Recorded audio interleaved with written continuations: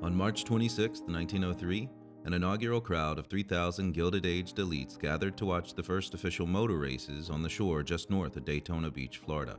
There, on the wide sandy stretches in front of the Ormond Hotel, a small group of motoring pioneers unloaded their automobiles in hopes of seeing who was the fastest man on Earth.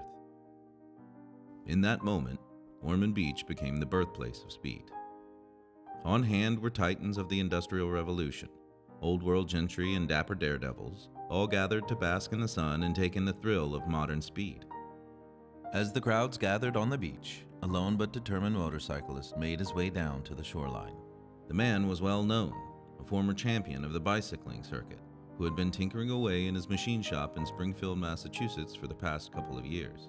His motorcycle, what may have been one of the first racing motorcycles in the world, was a crude yet elegant single cylinder design. The man was named Oscar Hedstrom, one of American motorcycling's founding fathers, and across the oddly shaped fuel tank on his motorcycle was painted a now iconic word Indian. The motorcycle itself was born on the racetrack. Its creation, the combination of rapid industrial innovation and the unrestrained passion for bicycle racing at the turn of the 20th century. The introduction of the gasoline internal combustion engine in Europe generated a flurry of new mechanical applications, including an array of vehicles to usher in a horseless age. Among the earliest implementations was a motorized pacing cycle, a tandem two wheeler used in the most popular sport of the era, bicycle racing. Multi rider pacing cycles had been used to create slipstreams for the cycling stars for the better part of a decade. But once the engine was attached, the machines became a marvel of sights, sounds, smells, and speeds unlike anything anyone had ever experienced before.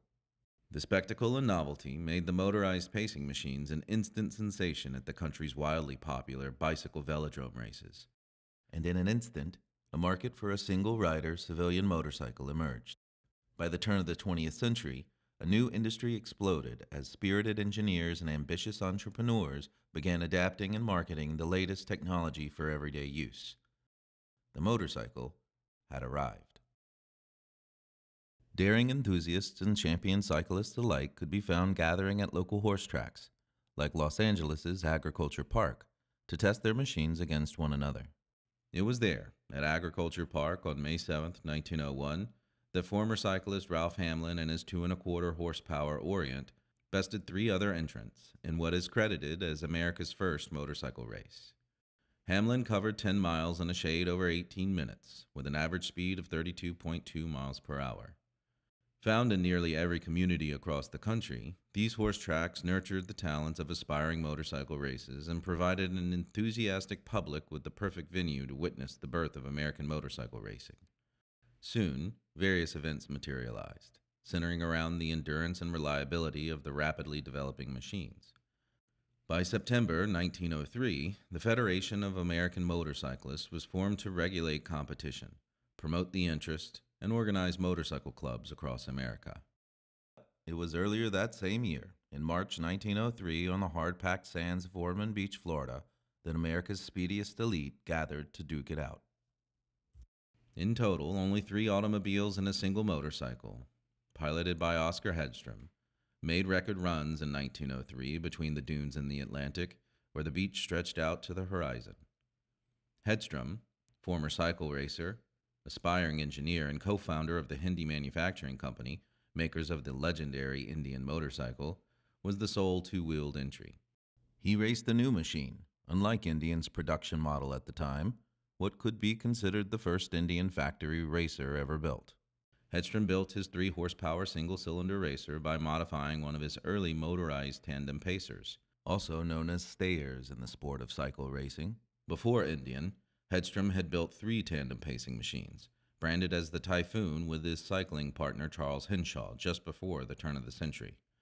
The Typhoon Pacers were built utilizing Hedstrom's modified French made de Dion Bouton engine, and it was while pacing at the seven day races in Madison Square Garden in January 1901 that he connected with George Hendee, another cycling magnate, and agreed to pursue manufacturing civilian motorcycles together. It was one of those earlier typhoons that Hedstrom altered to make his land speed motorcycle for the Ormond Run in 1903, indicated by the beefier de Dion type engine, unique fuel tank, and loop frame features all found on the Typhoon.